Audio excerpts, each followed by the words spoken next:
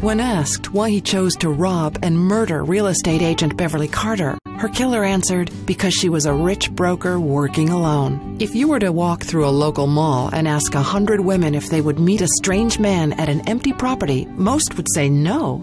For a real estate agent, that's part of the job description. Sure, agencies have their own safety policy, but most realtors ignore it. In fact, the NAR Safety Survey shows that 40% of agents have felt threatened on the job, yet 26% of them don't even know if their office has a safety protocol. That's why the security experts at Cobra Defense created the Agent Safety Protocol, or ASP. ASP shifts control of the situation to the agent. It's a series of simple steps an agent can easily take to drastically reduce or eliminate any threat of danger. You can learn the ASP in live seminar or online.